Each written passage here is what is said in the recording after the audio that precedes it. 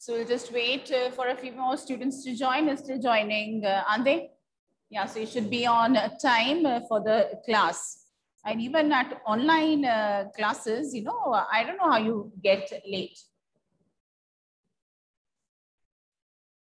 So uh, students, the chapter that we are going to start discussing today is the summit within uh, from your book, Honey Dew. You can open your book to that page.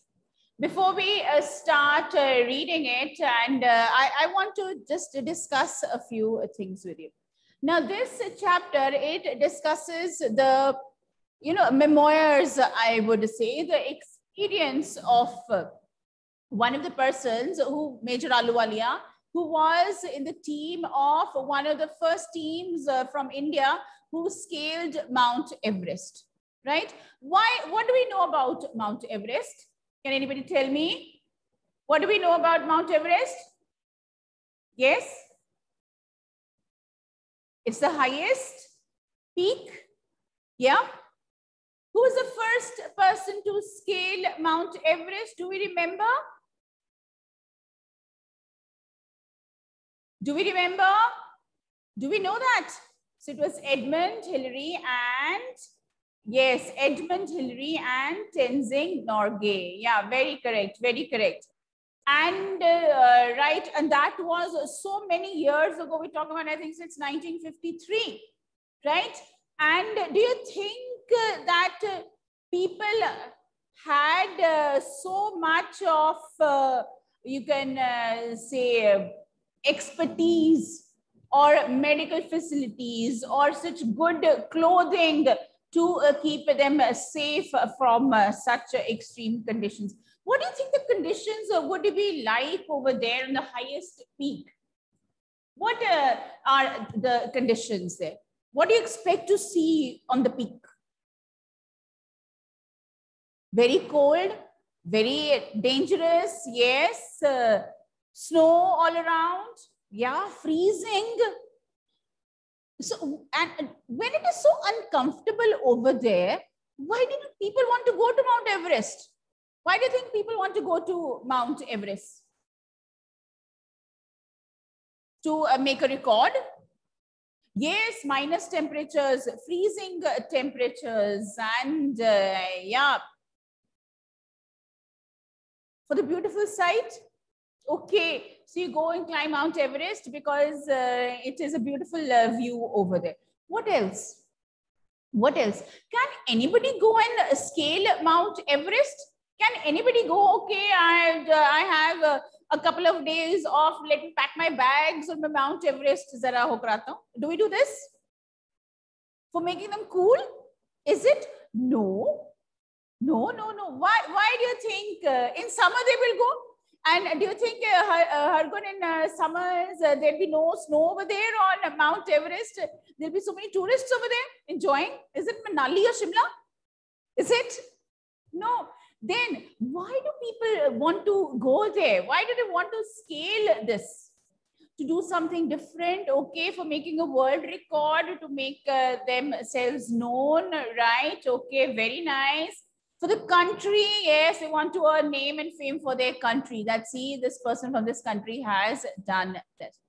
What did you think are the preparations uh, that uh, people need to do when they take uh, such dangerous, uh, you can say, expeditions? What uh, from seeing the world from the top? How beautiful it must seem how beautiful it must seem. They're all uh, snow all around and so difficult the winds blowing always, the freezing winds blowing, right? And here, like, what, what training do they have to do? Naturally, they have to practice. They need to develop a lot of stamina. Most important is physical fitness. Yes, they should be physically fit and uh, they would be trained to deal with the problems that happen on the way right? Do you think it is a trek over there and people they walk on that trek? Is it? Is it like that? Is it? No, it's such a huge mountain. There'll be like what uh, some uh, rocks on the way. They'll have to climb those rocks. And yes, there'll be so many obstacles. It is there in a mountain range. So going to that peak. And yes, right. Uh, uh, and do you think it takes um, a couple of days or more than that? It's going to take more days than that. Yes. So we have base camps there where the, you know, like you get uh, accommodated to the high, uh, what uh, you can see, the altitude, the freezing the temperatures, right? And what about, you know, when it is so cold, how does it affect the health? How does it affect their health? These freezing conditions, how would it affect their health? Yes? How would it affect their health? Oh, brain freezes. Yes, uh, they, their toes will freeze. And, you know, like such heavy clothes they'll be wearing to protect themselves from uh, the temperatures, right? And of course, yes, breathing, they'll have to ha carry certain equipment along with it, along with themselves, right? So you need uh, what, uh, you know, like, guess the rope there and you have these axes so uh, that uh, you can hold on to the rocks and go on. And do you think it is only one person who goes or it's a team who goes? Yes? It's a team. And when you are in a team, are you going to think uh, about yourself or are you going to think about the team members? It's always better to go in a team, isn't it? Right? They have team members there. There's a guide along with them, right? The local people, one of them, they take like, you have the Sherpas there going along with them, isn't it? Right? And uh, yes, so they have to not only take care of themselves, they have to take care of the team also.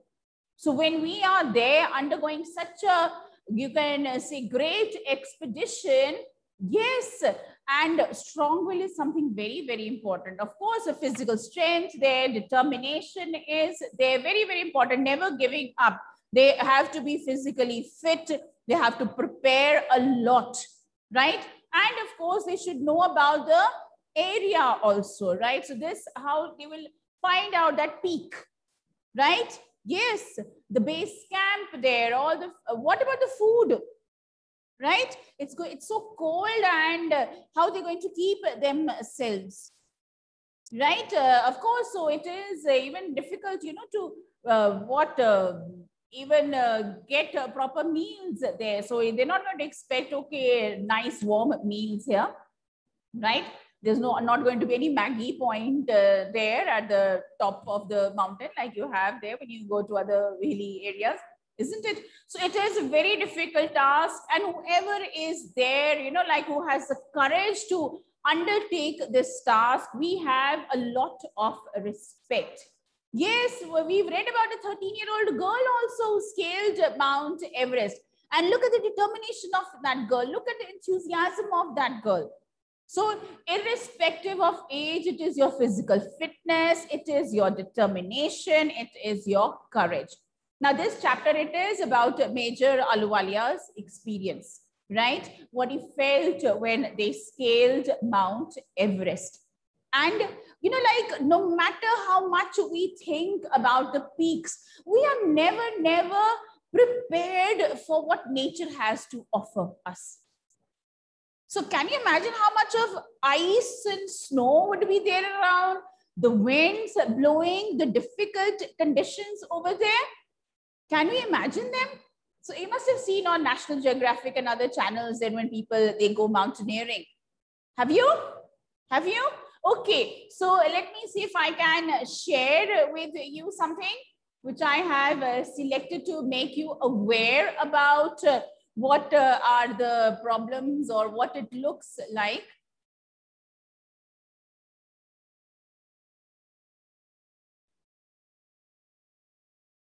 And uh, please, once again, as always, give me a yes or no. Are you able to see the screen? Are we able to see the screen? Yes? Okay, let me see. Just look at this.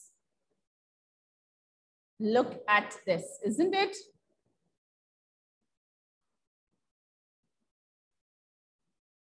Can you hear the wind blowing? The wind blowing constantly.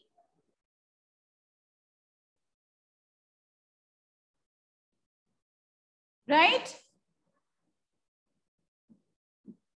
So how much of preparation is required to go over there? Can you imagine so much of snow? And look at the other peaks around. Look at the other peaks. They're so beautiful, isn't it? And so dangerous and so scary.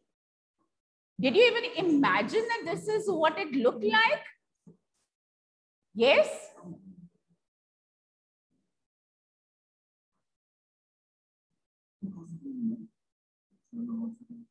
To see Everest over there. And uh, of course, here this is a clipping uh, from uh, this Everest VR there. And uh, we'll just uh, have a look at it. Now, walking in this snow, how difficult would it be? What kind of gear do you require? What kind of equipment you require? Isn't it? Yes. And uh, just look at the beauty. Right? So we'll just see a little bit more and of course in the darkness and the constant wind blowing and the beautiful, beautiful sunrise. Okay. Right. So there, there's no audio. There, it's a beautiful view and uh, of course it requires a lot of courage. Would you like to go there? How many of you? Brave enough? Yes. Okay. Right. I I, I get uh, see like one or two of you saying yes. So it takes a lot of courage. It takes a lot of courage even to think about it. I want to go over there. Right after uh, seeing uh, the sand, the height of uh, the peak, the snow over there, the difficult terrain, the conditions which you have to go through yeah you of course yeah we'll not compromise with our health. No sorry we we don't want to. It's okay we're all not so brave. It's okay right? We are not so adventurous right? Okay so let us start with the chapter uh, right? Uh, we'll start here and the summit within. What is a summit? Summit is peak within. And of course here what is this uh, metaphorical meaning over here? What do you think is the summit within? We can conquer Mount Everest if we are determined enough. If someone forces you, yes, you have to. But there is a peak within us also, which we need to conquer. So let us see what the writer has to say about that. Okay. So before we read, Major HPS Ahluwalia was a member of the first successful Indian expedition to Mount Everest in 1965. How did he feel when he stood on the highest point in the world? Let us hear his story in his words. Climbing the summit and then the more difficult task of climbing the summit within. So climbing the summit might be possible, but what about the summit here? What about the peaks? The problems that we have, uh, the worries and fears, anxieties that we have within us. Okay? Of all the emotions which surged through me as I stood on the summit of Everest, looking over miles of panorama below us, the dominant one, I think, was humility. So just like I showed you in the video over there, that uh, just see the beauty you reach there after a lot of hard work. You don't feel proud of yourself. What do you realize? Humility, right? Why? Because you realize that nature is much more powerful than you. Right? There are things, there are summits around us which we cannot scale. And yes, it is not so easy. Nature is there so beautiful, so you can uh, say majestic, right? And the view it presents, and he says that over there, yes, it is humility. You feel that I was able to reach there. And uh, yes, here it's about understanding or appreciating that the physical in me seemed to say, thank God it's all over. Physical, my body was saying, the thank God it's over, I reached the top. However, instead of being jubilant, jubilant means happy, right? Because you're succeeding, because you're victorious, right? However, instead of being jubilant, there was a tinge of sadness. Humility means humbleness. कि हम realize करते हैं that nature is so much bigger and stronger than us. What are we in this world? Nothing. Nature is much, much powerful than us. Nature is eternal. It is going to be there.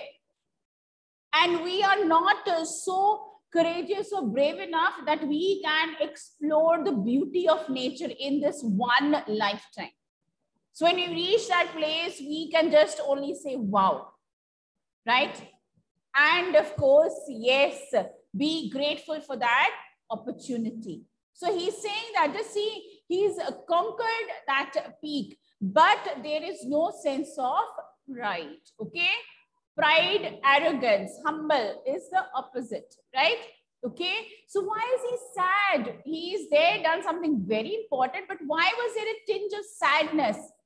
Was it because I had already done the ultimate in climbing and there would be nothing higher to climb and all roads hereafter would lead down? So did he think at that moment he was sad because he has scaled Mount Everest? What more? What more difficult than this? Because the other peaks, they would be what? Smaller, isn't it? And of course, might not be as uh, difficult here as conquering, as scaling Mount Everest. Humility, realizing the beauty of nature. Humility that, yes, nature is supreme. Okay? By climbing the summit of Everest, you are overwhelmed by a deep sense of joy and thankfulness. It is a joy which lasts a lifetime. The experience changes you completely. The man who has been to the mountains is never the same again. Why do you think he's saying this? The man who has been to the mountains is never the same again. You realize your strengths, you realize your weaknesses, right? You realize, yes, I was brave enough. Is it because of your bravery? Is it because we think that we are so powerful and strong that I can climb this peak? Or is it something more, which gives us a strength, which gives us that courage? Right? So he's saying the man who has been to the mountains is never the same again. One is you have experienced nature in its most difficult form. You heard how the wind was blowing? You saw, right, uh, the depth of the snow all over there, right? So even on the brightest of summers, uh, it's not clear over there. At such high altitude, you'll constantly hear the wind blowing. You'll be there, those freezing winds, the icy winds are blowing, right? So how is this experience going to change you? You will be a humble person. You will realize that thank God I was able to come back safe and sound because of all the obstacles on the way, because of all the problems also on the way, right? And of course, you did not give up your motivation. You did not lose hope. These are the things that you learn. As I look back at life after climbing Everest, I cannot help remarking about the other summit, the summit of the mind, no less formidable and no easier to climb. Which summit are we talking about? The summit which is external, that is physical, that is the peak. What peak are we talking about? The summit of the mind. The tiny voice inside you that keeps on telling you, yes, you can. Or sometimes it scares you. No, you can't. Right? So the summit within, where is this summit? It is in our mind. It's our mind is so powerful. It motivates us. It encourages us. Okay. No less formidable and no easier to climb. even when getting down from the summit, once the physical exhaustion had gone. So physical exhaustion after a few days of rest, uh, right, it will go. I began asking myself the question why I had climbed uh, Everest. When you think of the problems over there, when you think of the terrain over there, when you think of the, you know, uh, what, the difficulties, then you question yourself, why did I go over there? Why did the act of reaching the summit have such a hold on my imagination?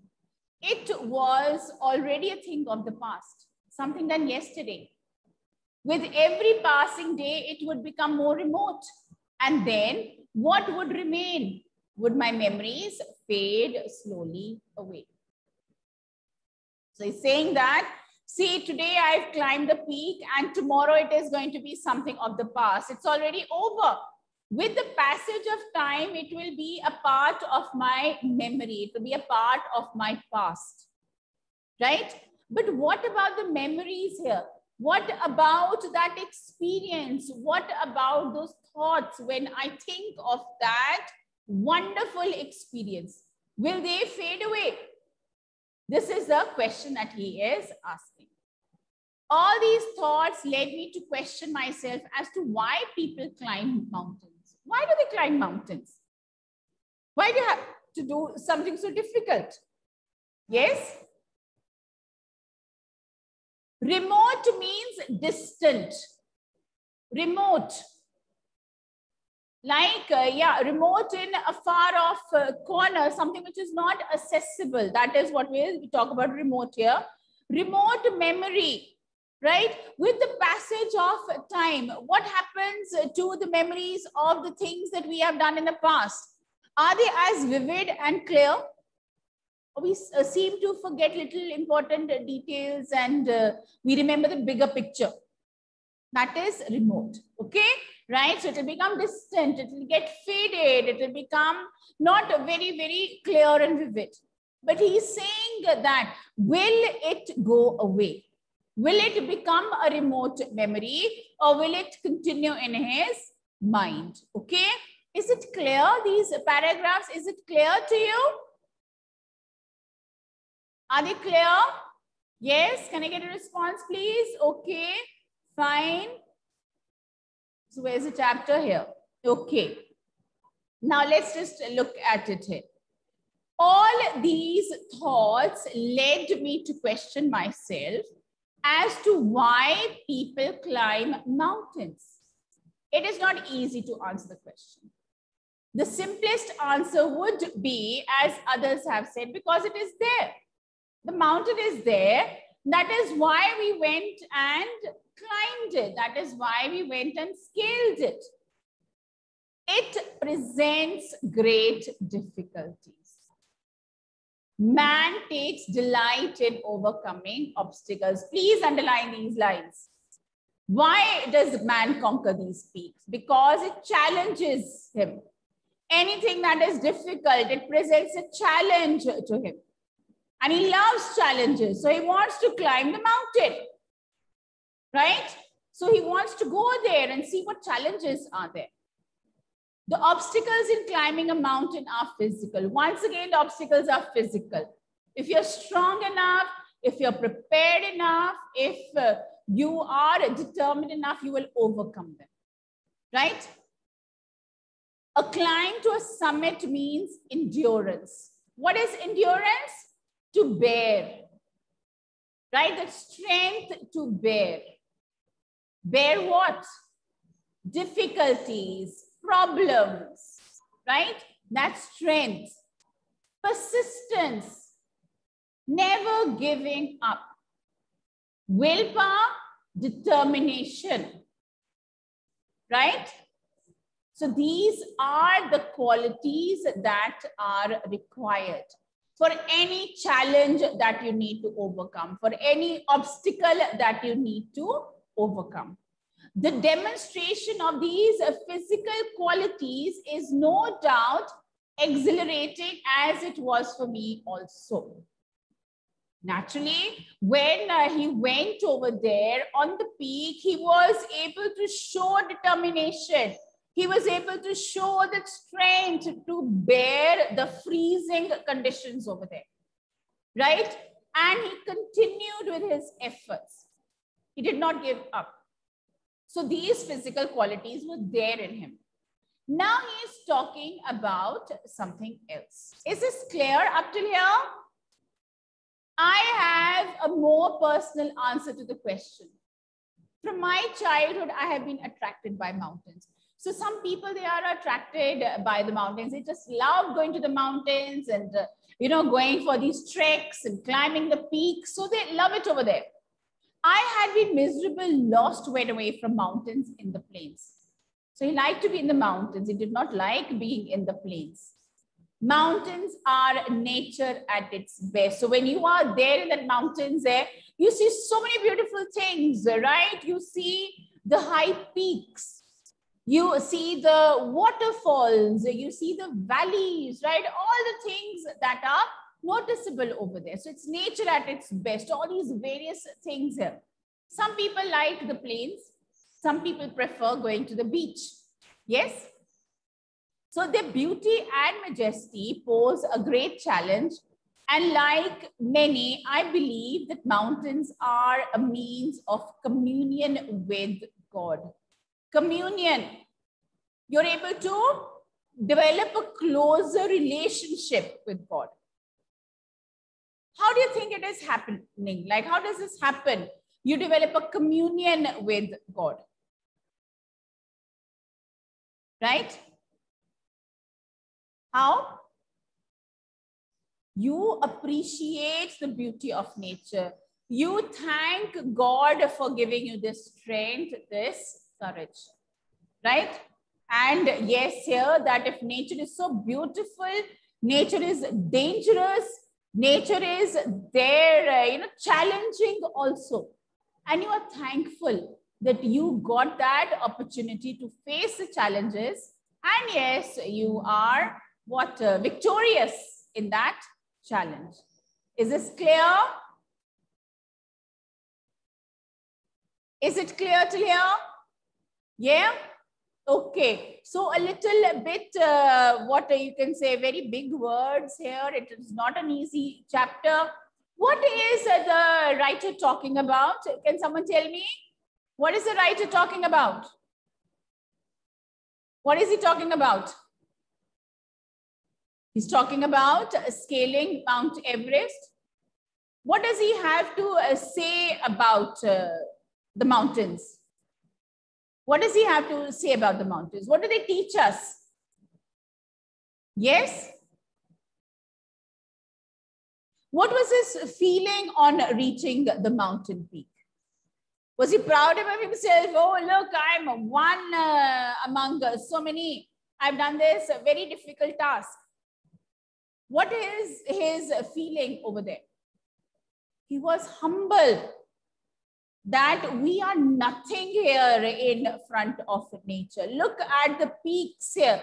Look at the beauty of nature. Yes, okay, fine. So we have to remember that nature always teaches us so many lessons. Nature not only reminding us that I am so strong and powerful, but also telling you that you can also be strong and powerful if you challenge yourself, right?